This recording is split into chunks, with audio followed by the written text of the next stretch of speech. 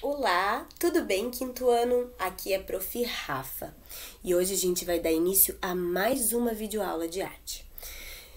Para a gente começar essa aula, vamos retomar um pouquinho do que a gente viu lá nas aulas anteriores, a gente conhecer um pouquinho melhor sobre o rádio, esse importante veículo de comunicação, e vimos que muitos artistas iniciaram as suas carreiras a partir do rádio.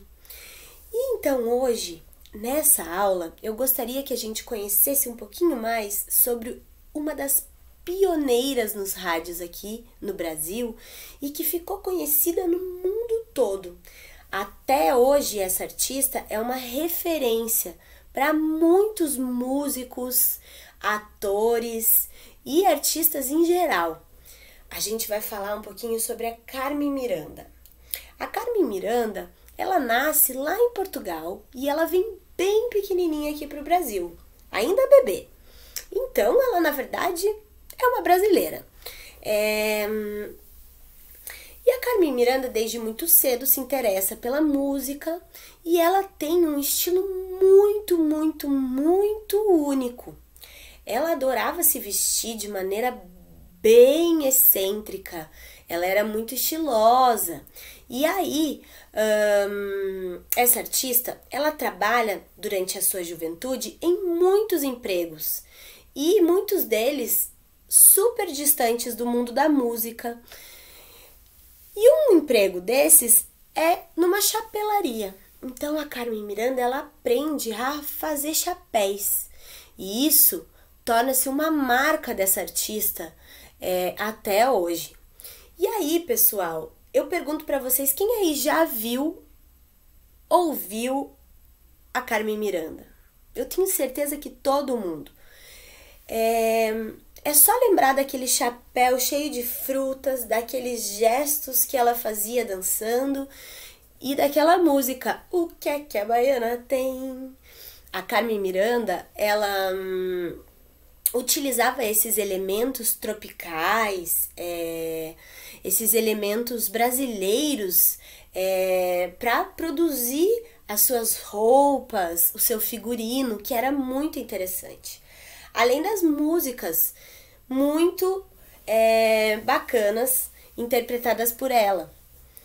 Então, no carnaval, existem muitas marchinhas que a gente ouve, é, e, eu, e, e, era um momento em que a Carmen Miranda é,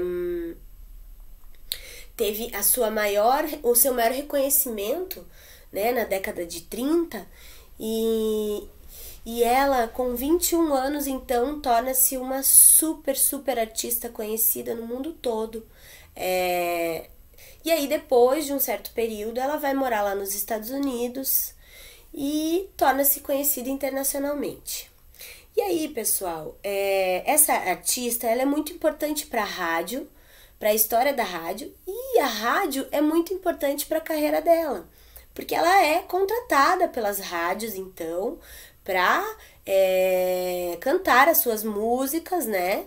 E isso tem uma extrema importância na carreira dessa atriz.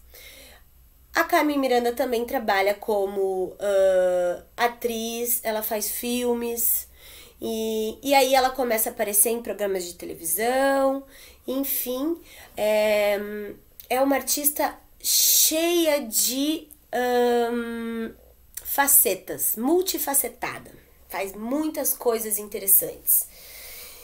E ela tem uma estética interessantíssima também. Então eu gostaria que vocês fizessem uma pesquisa a respeito da Carmen Miranda aí na casa de vocês. Eu quero que vocês juntem informações a respeito dessa artista. E uh, na página 18 tem um textinho bem legal para vocês lerem lá. Na página 19 tem uma atividade para vocês desenvolverem, e essa atividade vocês vão desenvolver a partir dessa pesquisa que vocês vão fazer. E por fim, eu gostaria que vocês criassem uma imagem em homenagem a essa artista aí na casa de vocês. Como que a gente vai fazer isso? Eu vou deixar algumas referências aí no final do vídeo e eu quero que vocês criem uma imagem estilizada da Carmen Miranda.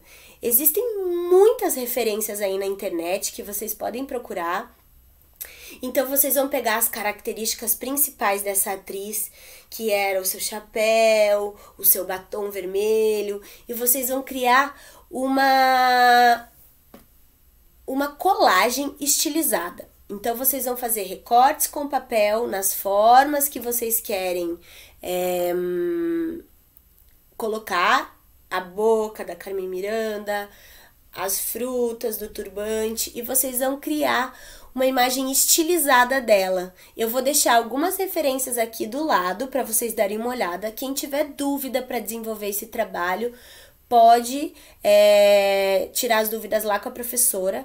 Vocês mandam por e-mail aí para mim esses trabalhos e essa pesquisinha rápida aí, reunindo algumas informações da artista também. Ok, pessoal? É, qualquer dúvida, prof está à disposição.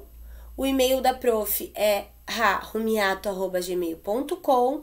Eu peço sempre que vocês mandem lá o nome de vocês, a turma e a atividade na descrição do e-mail, tá certo?